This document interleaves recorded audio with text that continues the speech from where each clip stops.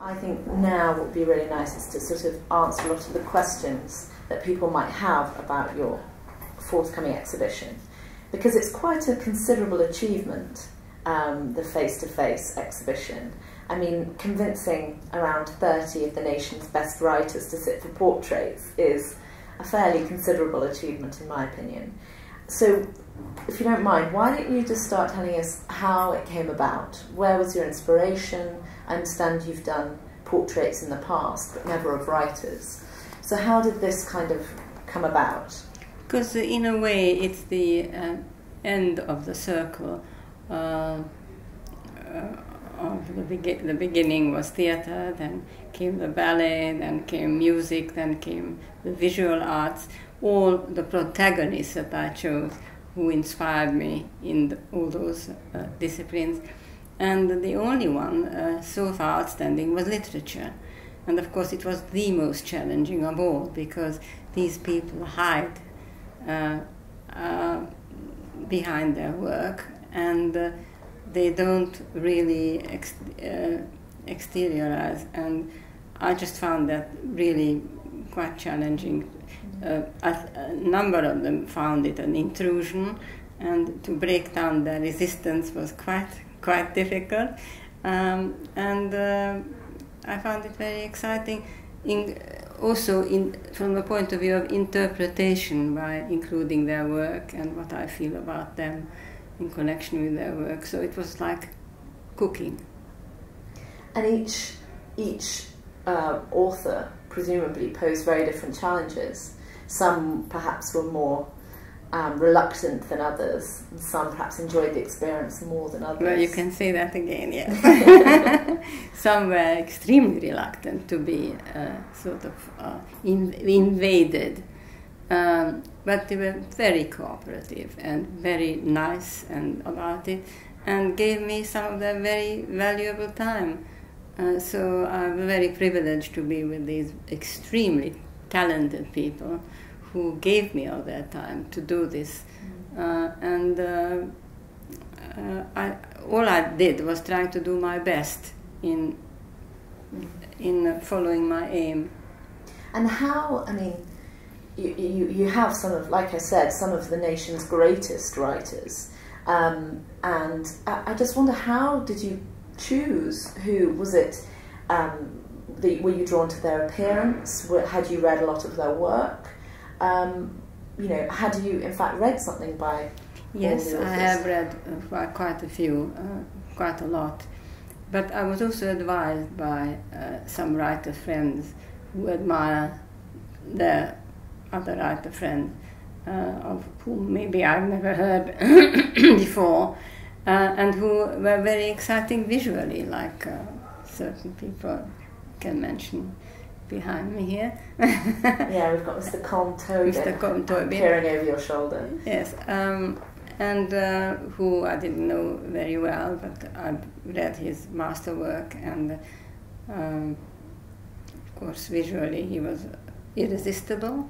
So uh, it was a mixture. It was visual and admiration for their work, and uh, also it was a question of availability because some some of them who I would have liked to have included were not available at that time. They were either in the middle of a book or were away.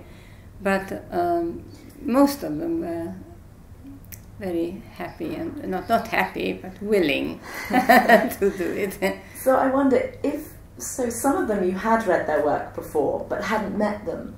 Were there any surprises? Were there any people who you expected to behave in a certain way or to have a certain character and they and they didn't and, and you were surprised?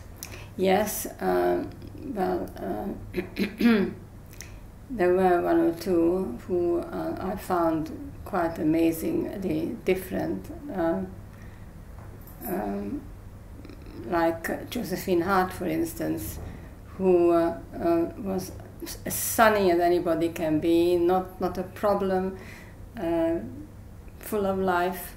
And then I kept reading her books, which were the most sinister, dark, amazing stories. And I just couldn't find uh, any relation between the two. So I'm entitling the painting dichotomy because she was in fact two people, and uh, she obviously sublimated her other self in her work. The only way I could interpret that was with two portraits. So I, I did a double portrait. Mm. I that's so interesting. Wish I could have met her. and what I mean, uh, you're saying that these all these characters, some were more reluctant than others. What were their reactions when they finally saw the pictures? I mean, did they have quite strong reactions? Were they? I imagine it must be quite strange being confronted with your image or somebody's interpretation of you. Well, I was very gratified by some of the reactions, like, for instance, Josephine, who said that she feels I have revealed her to herself, which I found very uh, gratifying. Um, and, and I have had some wonderful letters and uh, uh, from like uh, uh, Seamus Heaney. Uh, he wrote me a wonderful letter, and uh, um, I just found it, uh, it, it surpassed my expectations. The reactions I got from some of them. And are there any people who you were keen to draw, but for reasons um, you know, availability and that kind of thing? Yes, uh, there were some people, uh, like for instance, uh, John Le Carre was in the middle of a book that he was writing, and in, in the time that I wanted, he, he wasn't available.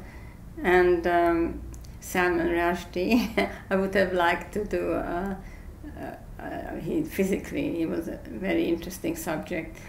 And um, he he was he would have been away all that time, and he just didn't come back to England during the time. By the time I finished the series.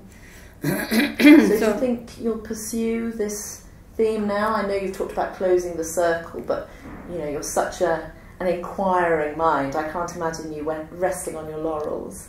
What, will you pursue this further, or are there any other projects that you're going to work on or are working on at the moment? Well, at the moment, I'm working on a project. I am actually uh, painting uh, pictures based on my collages that I did uh, a few years ago.